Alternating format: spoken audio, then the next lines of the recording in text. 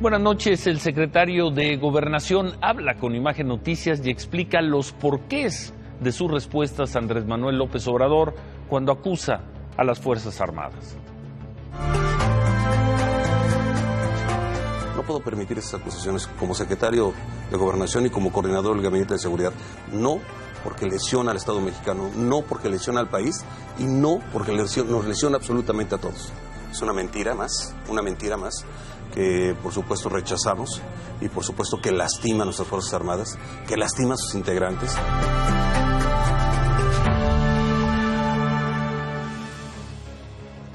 Veremos esta conversación de Miguel Ángel Osorio Chong con nuestra reportera Ivonne Melgar. Y como cabía esperar, comenzaron a circular las versiones falsas, las fake news, sobre la captura del desde ayer prófugo internacional, el ex gobernador de Chihuahua, César Duarte. Hoy el canal 7 de El Paso, Texas, filial de la cadena ABC, dio la noticia de la captura una noticia que fue retomada por algunos medios en Chihuahua. Pero hace unos momentos la PGR desmintió categóricamente esa noticia, nos dijo que la única información que tienen es la que han dado las autoridades de eh, Estados Unidos que tienen ubicado a César Duarte y nada más. También desmintió la noticia la Fiscalía de Chihuahua nos dijo el fiscal César Augusto Peniche que no hay ninguna veracidad en esa información. Así es que César Duarte sigue prófugo. Son fake news. Y hoy vamos a comenzar con esta historia. Se ha hablado mucho desde hace un año del caso de Dafne y los jóvenes llamados los Porquis de Veracruz que la habrían violado en el puerto hace dos años. Esta semana hubo un gran escándalo porque un juez otorgó un amparo a uno de los supuestos agresores. Pero hay un caso tan o más grave, el caso de Carla, también en Veracruz. No solo fue violada, sino que un amigo del agresor grabó el acto y lo subió a las redes sociales. Se libraron órdenes de aprehensión contra el violador, contra el que grabó y contra un amigo de ellos también presente. Dos de esos jóvenes están prófugos y el que está preso obtuvo también un amparo en estos días. El sábado 12 de marzo del año pasado, Carla acudió junto con un grupo de amigas a una playa en Boca del Río, Veracruz.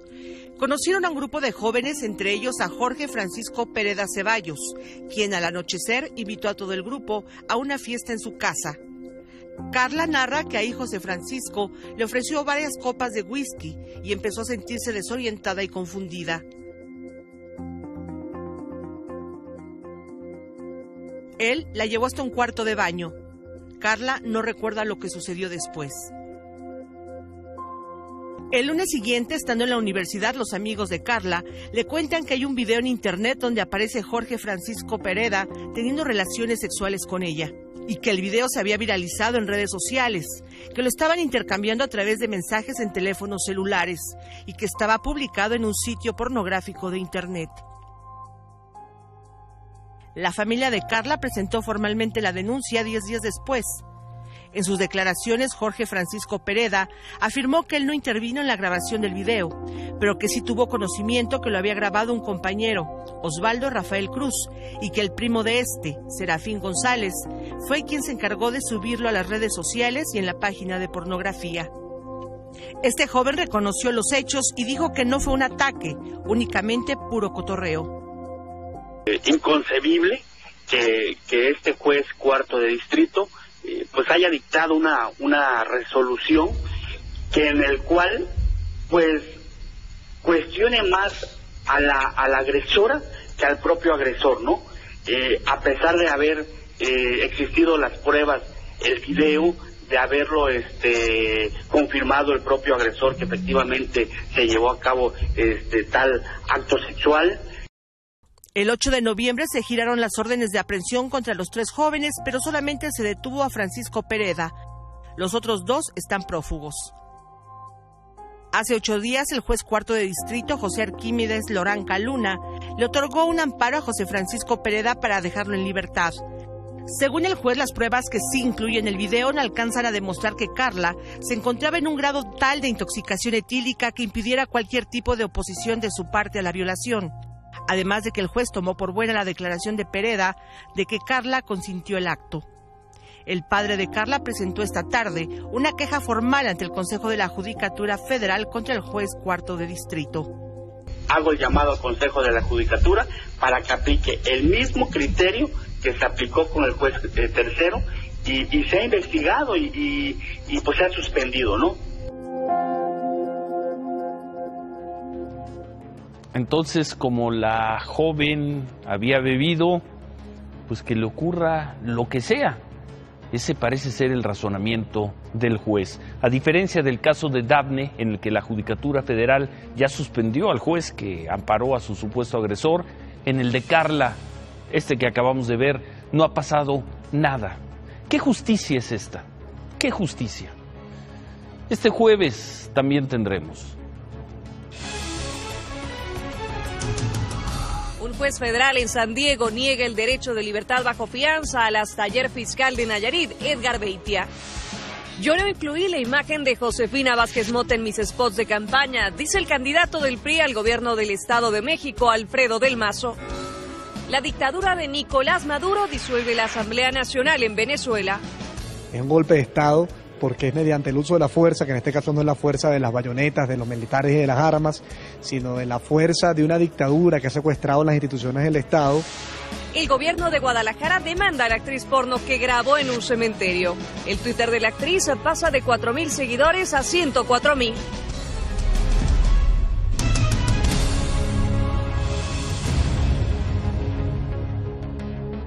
El ex fiscal, hasta ayer, fiscal de Nayarit, Edgar Beitia, compareció ante la Corte Federal en San Diego, California. Eh, ahí el juez determinó que va a seguir en prisión, que no tiene derecho a fianza. La próxima audiencia la programaron para el 11 de abril y ahí seguramente va a ser notificado de su traslado al penal de Brooklyn, en Nueva York. Es, un indictment muy... Ah, Ah, con muy poca información, nomás dice que es una acusación ah, de conspiración, ah, pero no hay muchos detalles de actos específicos o, algo que hayan acusado de que mi cliente cometió. Entonces es, es algo donde hay muy poca información. Imagen Noticia tiene copia de las acusaciones de la Corte del Distrito Oeste de Nueva York en contra de Edgar Beitia. El ex fiscal de Nayarit está acusado de haber conspirado para introducir a Estados Unidos por lo menos mil kilos de marihuana, cinco de cocaína, un kilo de heroína y 500 gramos de metanfetaminas.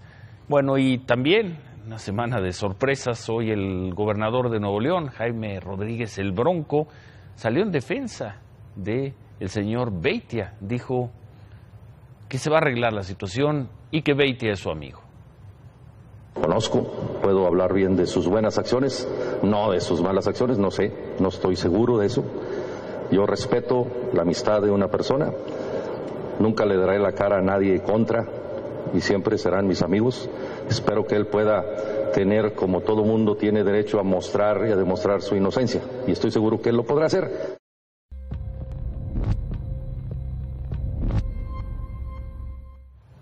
Y en otra historia de terror sobre asesinos y políticos, bueno, vamos a ver esta en una transmisión por Facebook, los asesinos de una mujer de nombre Gabriela Molina presumieron cómo se relajaban antes de cometer el asesinato. Gabriela Molina fue esposa de un empresario ligado al ex gobernador de Tabasco, Andrés Granier. Esta noche a los asesinos se les imputó el delito de feminicidio ya no regreso ya. Ya de aquí que yo vuelva. Estás loco, ya, ya me paré chido, ya, ya no regreso, güey. Estoy con los altos mandos, pues. La neta sí, güey, sí, Julio, está poca madre, la neta. Así fue como los presuntos asesinos de Magabriela Molina presumieron los lujos, el dinero y cómo se le estaban pasando en un hotel en Mérida, Yucatán, con el dinero de sus negocios. La transmisión en vivo la realizaron solo dos horas antes de cometer el asesinato. Oscar Miguel López Tobilla y Jonathan Mezquita Ábalos son acusados del asesinato de Magabriela Molina Canto, quien sostuvo un pleito legal por la custodia de sus hijos con el político Martín Alberto Medina Sonda, acusado de lavar dinero en la administración del exgobernador de Tabasco, Andrés Granier. Que tenemos, ve, papi, ve. Ve 500 para venir a gastar acá. No necesitamos dinero en nadie, papi. Tú sabes. Lo que uno la vida la vive. Según las primeras investigaciones de la Fiscalía de Yucatán, esta transmisión de más de seis minutos ayudó a la captura de los presuntos asesinos. Además, según la investigación, los dos jóvenes originarios de Tabasco habrían llegado a Mérida solo para asesinar a Emma Gabriela Molina. Los antros están chidos, güey. Hay bares también de poca. Pero al Chile no hemos salido a los bares casi, nada más cada uno. Pero es que el chiste es que está muy vigilado. De acuerdo con la fiscalía, estos dos hombres mataron a Emma Gabriela en su casa con un arma blanca y después escaparon a bordo de un taxi. Los business son los business. Y el negocio es el negocio. Ahorita pues dinero nos sobra. Qué, imagen esta última. Mario Burto, el asesino, el asesino confeso de Luis Donaldo Colosio, fue trasladado del penal de Huimanguillo, Tabasco, a un hospital privado en Villahermosa. Mario Aburto eh, requirió, se informó que requería atención médica, sin embargo, no se dieron más detalles ni la causa del traslado, el cual se llevó a cabo con un, en medio de un fuerte operativo de seguridad de las fuerzas federales. Aburto viajó en una camioneta blindada de la policía penitenciaria, le cubrieron el rostro, como estamos viendo ahí, y salió esposado de manos y pies. El magistrado Álvaro Augusto Pérez fue designado como el nuevo presidente del Tribunal Superior de Justicia de la Ciudad de México. Sustituye a Edgar Elías Azar, quien renunció y quien se espera asuma pronto como embajador de México en los Países Bajos. El nuevo presidente del tribunal fue ratificado en su cargo en febrero al cumplir seis años como magistrado. Ahora será el presidente del tribunal.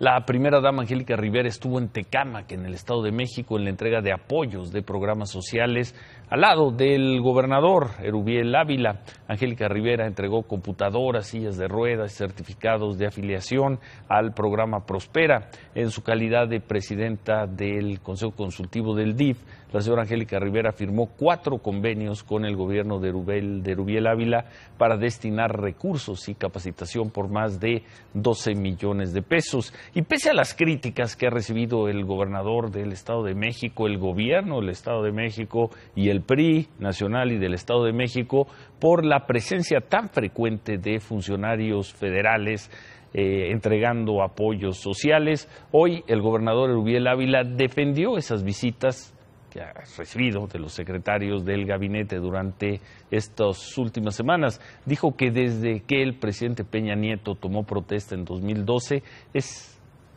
el sexenio que más apoyos ha tenido el Estado de México por parte del Gabinete Federal. Pero bueno, como era esperar para la candidata del PAN a la gubernatura del Estado de México, para Josefina Vázquez Mota, pues esto se trata de, es parte de una, lo que llama una burda elección de Estado. Estamos frente a una muy burda elección de Estado. En siete meses, al menos ha habido 100 visitas de diversos funcionarios del gobierno federal entregando todo tipo de dádivas. Es la peor regresión que hemos visto a la democracia y a las libertades en la historia moderna del país. Y todavía no empiezan las campañas, empiezan el lunes. Delfina Gómez, la candidata de Morena, también nos dio una opinión sobre estas declaraciones del gobernador Erubiel Ávila y le pidió al presidente Peña Nieto que deje de apoyar a Alfredo del Mazo, el candidato del PRI. Bueno, parte de lo que nos dijo Delfina. Esta semana se dieron a conocer algunos spots de la campaña del candidato del PRI al Estado de México, Alfredo del Mazo. En uno de ellos aparece la candidata del PAN, Josefina Vázquez Mota. Esto sorprendió mucho. Vamos, vamos a ver un fragmento de ese video. De ese spot. Ocho de cada diez mexiquenses quieren un cambio. Los mexiquenses quieren un cambio. Yo también. Pero estoy seguro que lo que no quieren cambiar son los tratamientos gratuitos para mujeres con cáncer, ni las becas, ni los programas para adultos mayores. Lo que hay que cambiar es la inseguridad fuerte y con todo. Yo voy a darte el cambio que quieres. mejorando lo que tenemos. Alfredo del Mazo, candidato del PRI a gobernador del Estado de México. Fuerte y con todo. Bueno, pues hoy por la mañana Alfredo del Mazo nos dijo que este spot fue modificado, que no había incluido a Josefina Vázquez Mota, que alguien lo tomó, lo modificó en las redes sociales y que no forma parte de su campaña. Alfredo del Mazo aseguró que ellos transmitirán los spots solo los que han mandado al INE, los que han sido revisados por el INE y no los que están circulando en redes. Así que alguien se metió y cambió este spot de Alfredo del Mazo. El presidente Morena, Andrés Manuel López Obrador, calificó como una burla la designación de tres nuevos consejeros del Instituto Nacional Electoral que fueron nombrados hoy. Que es una burla para el pueblo de México lo que hicieron hoy los diputados, desde luego por consigna de la mafia del poder. No les gusta que yo les llame así, mafia del poder. Pero esos son, hoy se repartieron un consejero, el PRI, otro el PAN y otro el PRD. Se pusieron de acuerdo, transaron y ya tienen tres eh, incondicionales más los que todavía están en funciones en el INE. Los tres nuevos consejeros del Instituto Nacional Electoral fueron designados con 336 votos a favor, 32 en contra y 5 abstenciones en Cámara de Diputados. Son eh, Dania Paola Rabel, Jaime Rivera Velázquez y Beatriz Claudia Zavala. Los tres van a estar en el cargo hasta abril de 2026.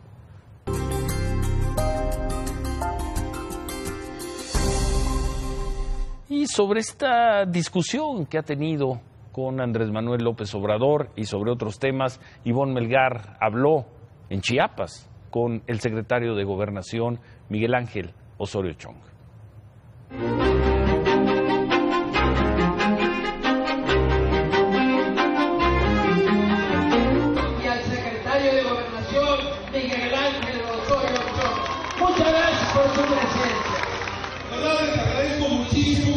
Lo que he escuchado de el líder de Morena es que eh, pues el ejército no ha actuado bien, que ha hecho masacres y lo que he pedido es que si esto lo puede acreditar vaya al Ministerio Público o pida una disculpa a nuestras Fuerzas Armadas, no al gobierno. Es una mentira más, una mentira más que por supuesto rechazamos y por supuesto que lastima a nuestras Fuerzas Armadas, que lastima a sus integrantes. ¿Cómo veis el peinado? ¿Corto o largo? Miguel Ángel Osorio Chong lleva dos semanas rebatiendo a Andrés Manuel López Obrador. No puedo permitir esas acusaciones como secretario de Gobernación y como coordinador del Gabinete de Seguridad. No porque lesiona al Estado mexicano, no porque lesiona al país y no porque lesiona- nos lesiona absolutamente a todos. Yo creo que no es desmentirlo, yo creo que la sociedad ve y sabe lo que pasa. Es extraño que recorriendo eh, estados o municipios no puede y alcance a ver que la delincuencia no está asociado, no está siempre asociada a la falta de oportunidades. Frente a la inseguridad, pide a los gobernadores asumir su parte y califica de política la postura de Javier Corral. Hay que entrarle a resolver. No hay que buscar eh, culpables, hay que asumir la responsabilidad. Me extraña mucho que no se reconozca eh, la labor y el trabajo de respaldo que están haciendo nuestras Fuerzas Armadas y la Policía Federal, la PGR y el CISEN, particularmente en el estado de Chihuahua y en muchos estados de la República, 16 para ser exactos. Reclama respuestas legislativas al problema de las policías y cuestiona el mando mixto propuesto por el Congreso. Es acreditar o no acreditar ciertos factores y entonces estar pasando de un lado al otro, de la policía estatal a la municipal, los cuerpos de seguridad. Y eso entonces lo que va a hacer es exactamente lo que está pasando, una laguna que aprovechan los delincuentes. 600 municipios no tienen cuerpos de seguridad, algunos tienen, de los otros 900 municipios tienen solo 20 integrantes de sus cuerpos de seguridad, algunos y la mayoría 12 llevamos dos años politizando este tema. Hay eh, desde la presión que hubo en su momento de presidentes municipales, hoy es un tema de partidos, hay elecciones. El secretario de Gobernación ha empezado a cerrarle la válvula de información al gobierno estadounidense como señal de exigencia de reciprocidad. ¿Esto es así? No, estamos, estamos trabajando de manera muy seria. Cuando vino eh, Kelly, eh, directamente le comenté que no habremos de ampliar lo que llevamos hasta que no haya un acuerdo integral como lo ordenó el presidente Enrique Peña Nieto. Pero seguimos con lo que tenemos. Sería responsable actuar de esa manera. Eh, está el canciller al frente de las negociaciones, pero atrás todos apoyando y respaldando. Entonces sí tenemos que actuar, sí tenemos que revisar y sí tenemos que ponernos de acuerdo, pero de manera integral y en un solo acuerdo, no por partes. Y aunque los usos y costumbres del tapado ya son cosa cotidiana, el secretario se niega todavía a hablar del 18. Si de por sí ahora en cualquier tema eh, señalan que es porque hay aspiración eh, que nunca ha expresado, eh, hay todo un tipo, tipo, de señalamientos. Imagínate si empezáramos a hablar del mismo. Yo creo que actuar responsablemente dentro de un gobierno es seguir trabajando, es esperar el momento electoral oportuno y que también eh, mi partido eh, entre en ese proceso. 2017 todavía al frente de la Todavía, bueno, eso lo decide el presidente. Lo que digo es que mientras esté en la Secretaría de Gobernación, seguiré con eh, mucha fuerza, con mucha voluntad de servir. El secretario de Gobernación, Miguel Ángel Osorio Chong. Y bueno, pues es noche de fake news, de noticias falsas. La Policía Federal nos acaba de informar que es falso que se haya trasladado a Mario Aburto a un hospital, que ha habido una confusión, que se trata de otro reo. La Fiscalía de Tabasco tampoco reconoce que se haya trasladado a Mario Aburto. Fuente federal, fuente estatal, Mario Aburto no fue trasladado a ninguna parte, es lo que nos informan las autoridades.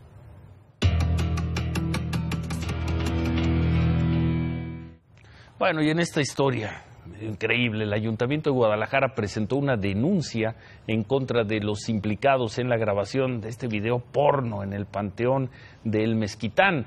La productora para la que trabaja esta joven, de nombre Janet Rubio, se defiende. Dicen que ese video no se grabó en el Panteón, sino en otro lugar.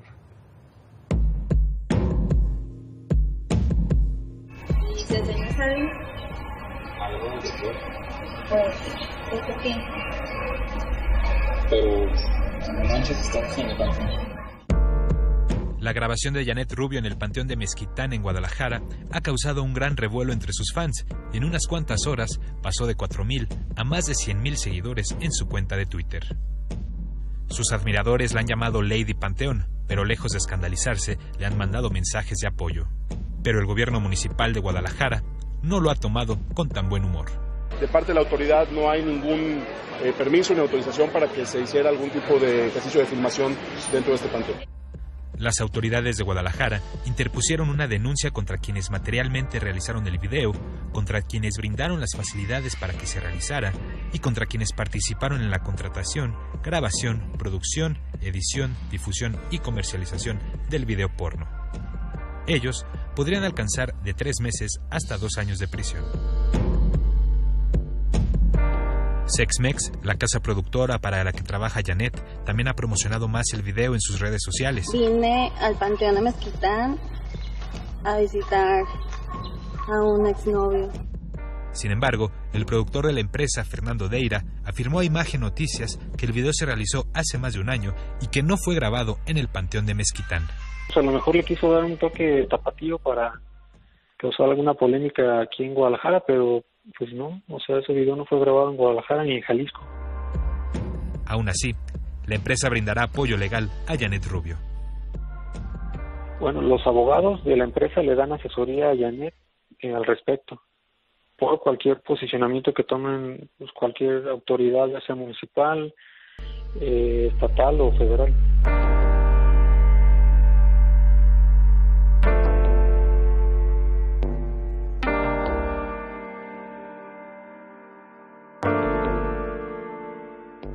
Hay una época que algunos quieren olvidar. Cuando decían que iba a llegar Donald Trump a la presidencia de Estados Unidos y que iba a venir el Trumpocalipsis, que todo iba a estar muy mal. Hoy se reunió el Consejo de Estabilidad Financiera, este que preside el secretario de Hacienda y participa Banco de México, donde hablan que han disminuido los riesgos. Banco de México en su junta de gobierno de hoy señala más o menos lo mismo, que han venido disminuyendo los riesgos y de ser cierta la filtración del Wall Street Journal, la negociación del Tratado de Libre Comercio va a ser mucho más laxa. Entonces la pregunta, ¿por qué Banco de México lleva la tasa de referencia a un día hasta el 6.50%? ¿Por qué? Desde octubre de 2015 ha subido cinco veces consecutiva la tasa de interés. Muy sencillo, porque no les gusta el nivel de inflación que tenemos. ¿No les parece correcto que la inflación se encuentre en el 5.3% por cerrar el número? Sin embargo, a los que sí les gusta lo que está pasando es a los mercados financieros. Ven por un lado que el secretario y la subsecretaria de Hacienda hablan de si bien llegó un remanente de unos 17 mil millones de Banco de México, mantener la disciplina fiscal, Banco de México que mantiene las tasas ya muy separadas de los Estados Unidos para combatir la inflación y el tipo de cambio 18.67 por dólar. Sigue bajando ni, tú la, ni tú la imaginabas. ¿Cómo no? No. Ciro. Tú hablabas de 19. Hablaba bajos. 18 bajos, 17 altos. Vamos a recuperar para mañana. Bu- tus bu- bu- pronósticos. Apuesta, ponle dinero porque lo sé. Yo dije 18 bajos, 10 17 altos. Que iba a llegar en un lapso corto y va a llegar en un lapso corto a esta recuperación en el nivel tipo de cambio. Las últimas, el último año, las últimas 52 semanas hemos variado del 22 al 17%. El tipo de cambio se está volviendo mucho más real. Todo el mundo está más tranquilo, hay menos especulación y la economía se ve Y sustancialmente ya no hablan más de crisis. ¿Mandé? Ya no hablan de crisis. Pues ya, hablan, ya no sé de qué hablan. También prometían que el socialismo del siglo XXI iba a la maravilla y que necesitábamos ser como... ¿Cuál socialismo del siglo XXI? La babosada esa que inventó Hugo Chávez y luego siguió Nicolás Maduro El y que siguió Lula en. Brasil y que siguieron los Fernández y los Kirchner en Argentina, que fracasó, que decían que ahora era un nuevo socialismo, que era el viejo populismo de siempre, que termina generando más pobreza y miseria en la población.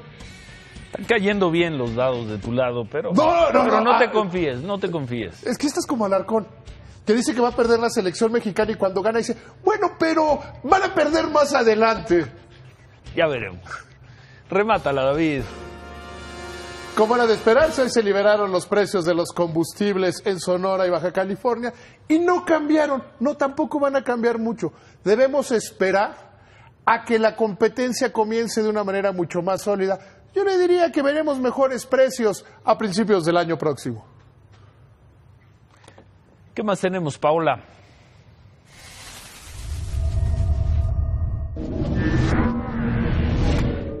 Los abogados de Joaquín El Chapo Guzmán en Nueva York pidieron al juez encargado del caso que Amnistía Internacional pueda revisar, observar y fotografiar su celda, pues consideran que las condiciones en las que está recluido violan sus derechos. En un documento solicitaron que la Corte permita que Guzmán Loera pueda tener contacto directo con su esposa Emma Coronel y que eliminen las medidas administrativas especiales y lo coloquen con la población general de la prisión.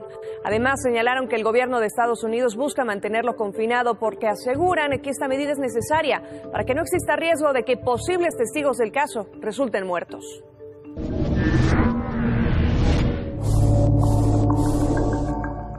El secretario de Comunicaciones y Transportes, Gerardo Ruiz Esparza, y el vocero de la República, Eduardo Sánchez, dieron a conocer los avances del Programa Nacional de Infraestructura 2014-2018. Informaron que el programa prevé 743 proyectos con una inversión de casi 8 billones de pesos de los sectores público y privado. Eduardo Sánchez también informó sobre el número de empleos que se generarán por la construcción del nuevo aeropuerto de la Ciudad de México. El símbolo de esta visión transformadora del presidente Enrique Peña Nieto es el nuevo aeropuerto de la Ciudad de México, cuya construcción generará cerca de 160 mil empleos y 450 mil cuando comience a funcionar.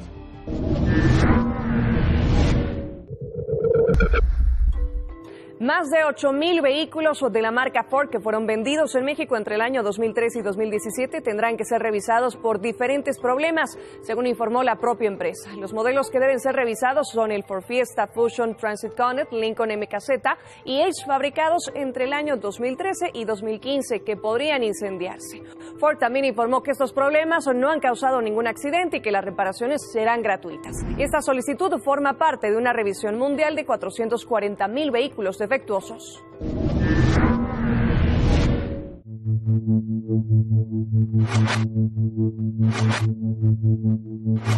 Habitantes de Queensland, Australia, encontraron un tiburón toro en las calles luego de las inundaciones provocadas por el ciclón tropical Debbie. De acuerdo con las autoridades, probablemente el animal fue arrastrado por la subida del nivel del agua y murió sobre una carretera aproximadamente a 10 kilómetros de la costa. Después de las imágenes y ya que los habitantes no hicieron caso a las medidas de seguridad de los servicios de emergencia de Queensland, publicaron un mensaje en Twitter que decía: ¿Crees que es seguro meterse en el agua? Piénsalo de nuevo. Un tiburón toro ha aparecido.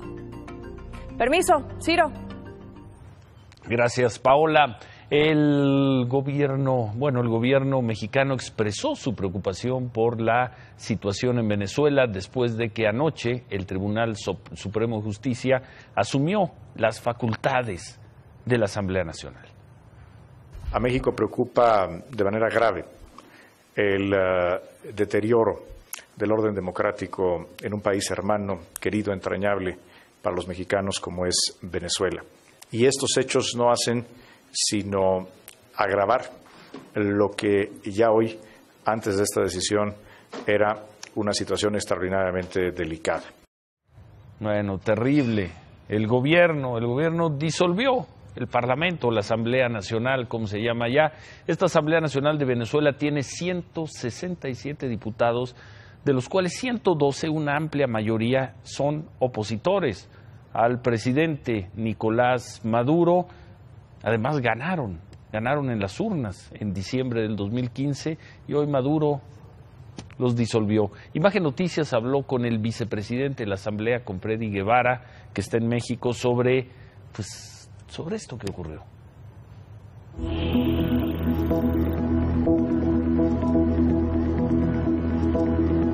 Esa locura que hace el Tribunal Supremo de Justicia en Venezuela viene con el respaldo y la complicidad del ejército venezolano y también del Ejecutivo Nacional.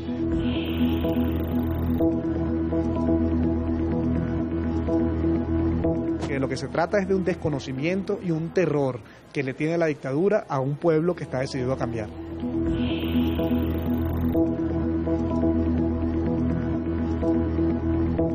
En Venezuela no existe en ninguna parte de la Constitución alguna competencia que diga que el Tribunal Supremo de Justicia puede asumir competencias de otros poderes públicos o delegarlas o crear una instancia si este poder no está funcionando o está en desacato o lo que sea. Nada. Bueno, y en Venezuela la oposición denunció que el presidente Maduro pues lo que hizo fue un golpe de Estado con esta decisión de anular la Asamblea Nacional. Los opositores protestaron frente a la sede del Tribunal Supremo y ahí se encontraron con integrantes de la Guardia Nacional de Nicolás Maduro.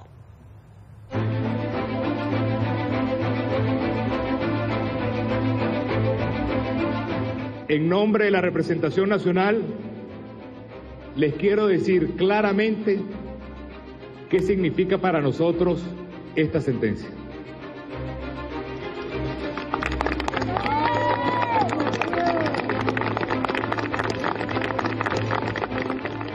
En Venezuela, Nicolás Maduro dio un golpe de Estado. Es una dictadura que el mundo entero tiene que ayudar a Venezuela en este momento a que se prendan las alarmas de todas las democracias del mundo Aquí está el pueblo, 14 millones de venezolanos votaron por nosotros. No le paren, que nosotros estamos luchando. Miren, así, como está esta gente, como ponen estas mujeres a defender un pueblo. ¡Epa! Varones, son mujeres. Miren, nosotros estamos aquí es para defender la voluntad de un pueblo. No pueden romper las camisas, no pueden agredir a nosotros, a las diputadas y a las mujeres. Nosotros vamos a seguir peleando por Venezuela. Nosotros vamos a seguir luchando por Venezuela y por los jóvenes, por este país. Terrible situación. Bueno, vamos a hacer una pausa y al regresar le vamos a, preguntar a Javier Alarcón cómo piensa la FIFA repartir las plazas para el Mundial de 2026. ¿Van a ser tantos equipos? Volvemos.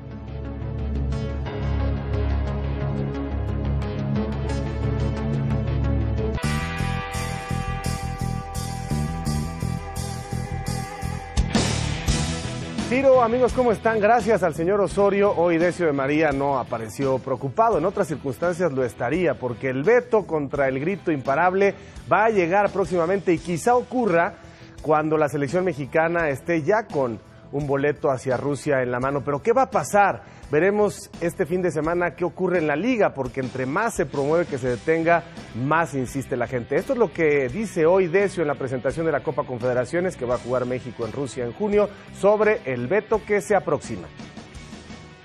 Construir una forma diferente de apoyar a nuestra selección nacional.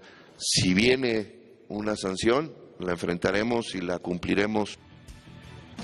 Bueno, vamos a ver, Ciro, cómo va a repartir la FIFA. Hace meses lo anticipamos aquí, el tema de las plazas. Me parece que es un tema totalmente mercantil, es cantidad en lugar de calidad y busca dos objetivos muy claros.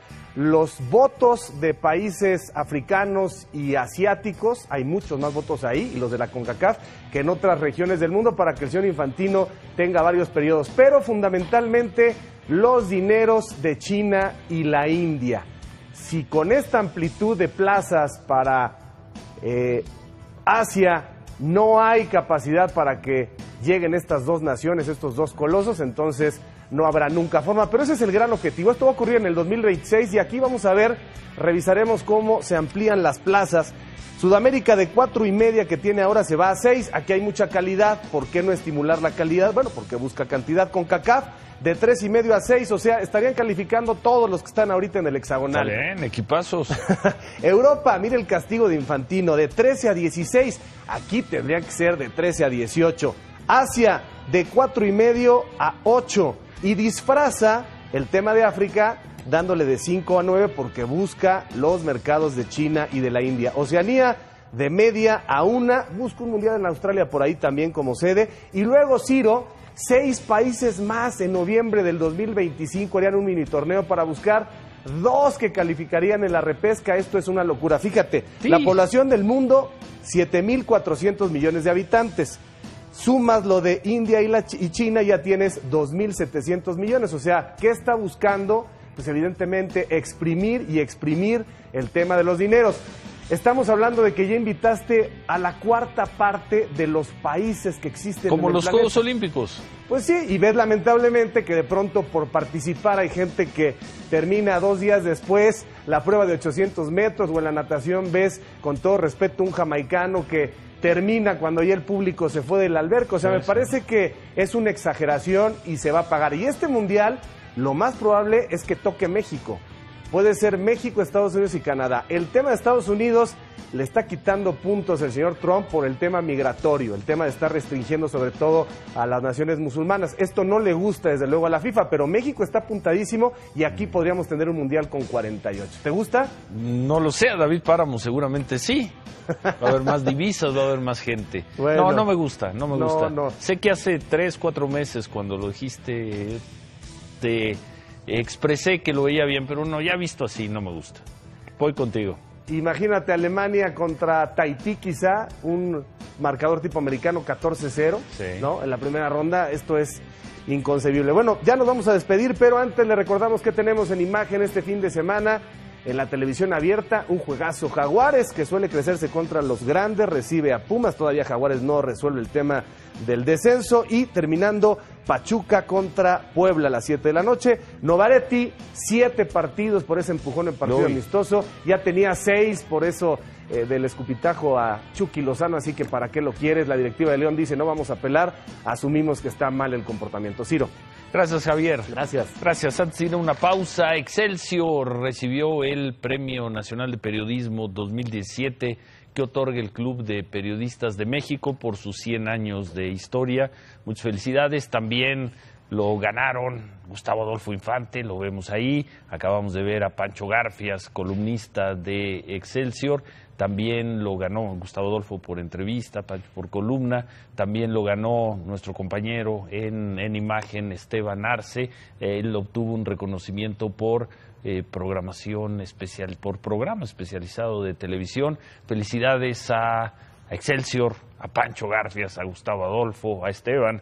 Muchas, muchas felicidades por este premio. Hacemos un corte y al regresar ¿Qué queda después de la crítica, la descalificación que hizo hoy López Obrador a los consejeros del INE? Volvemos.